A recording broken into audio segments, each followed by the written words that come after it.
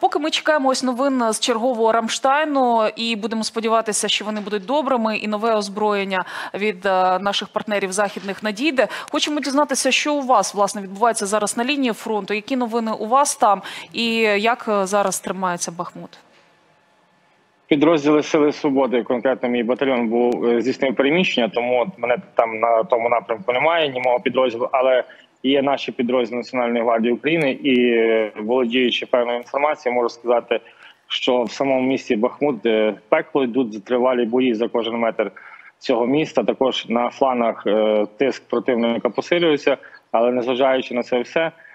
Сили оборони України, що Національна гвардія України, що Збройні Сили України чи інші військові підрозділи активно продовжують знищувати ворога на всіх напрямках та на кожному метрі нашого Бахмута. Е, Противник застосовує ну не то, що нову тактику, він застосовує тактику малих штурмових груп. Е, Також відомо, що підрозділи ЧВК Вагнер, які воюють безпосередньо в місті Бахмут, е, є випадки, і це можна сказати навіть в системі, що штурмова група там до 10 чоловік. Якщо з них з цієї групи загинуло 8 їхніх військовослужбовців, то двох не евакуйовують, а просто доповнюють цю групу і недачі пробують штурмувати наші позиції. Е, Отака ситуація на даний момент в Бахмуті.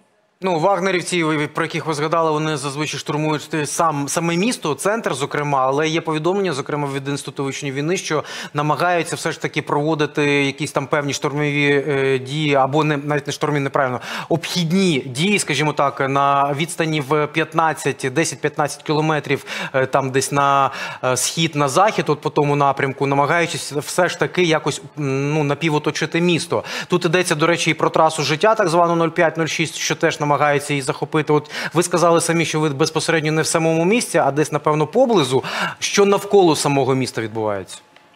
Ну на рахунок ЧВК Вагнер, чи їхні є підрозділи на флангах міста, там там чи на іншому бахмутському напрямку, так є. Взагалі там е, досить зміщена е, кількість підрозділів. Там є і регулярні війська, що в самому місті, що на його флангах, так само підрозділи ЧВК Вагнер. Враховуючи попередні події, мабуть, е, швидше всього ЧВК Вагнер був частково чи повністю підпорядкований е, регулярним е, військам Російської Федерації з метою кращої взаємодії та кращого здійснення наступальних дій.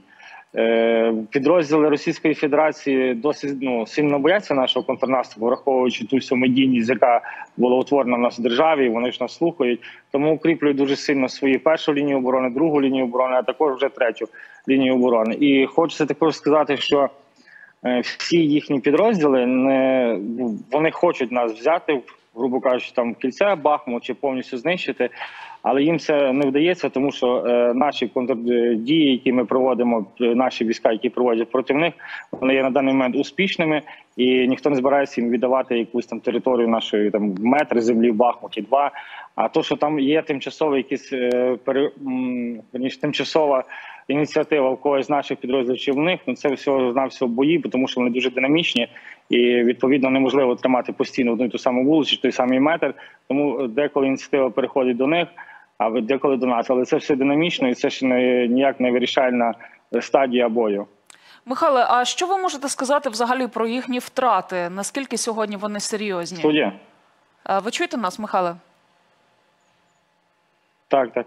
А, Що ви можете сказати Чую. про втрати ворога? Е, Ну і от теж ви казали про їхню взаємодію е, вагнерівців і е, регулярних російських військ. Наскільки їм вдається ефективно е, діяти, і е, наскільки вам вдається ефективно їх е, нищити?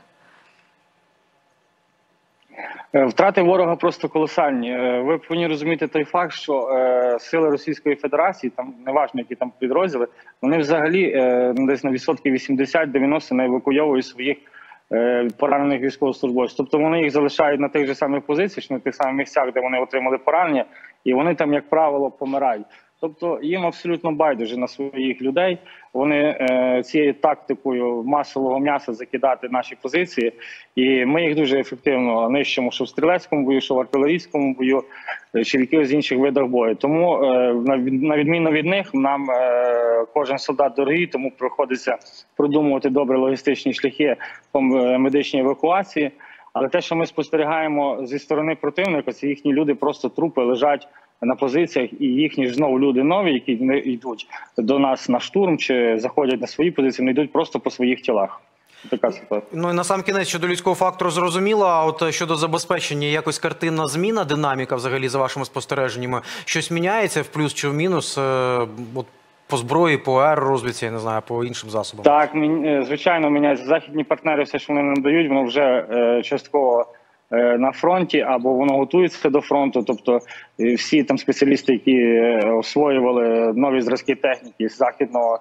Західних зразків вони вже нею інтенсивно користуються.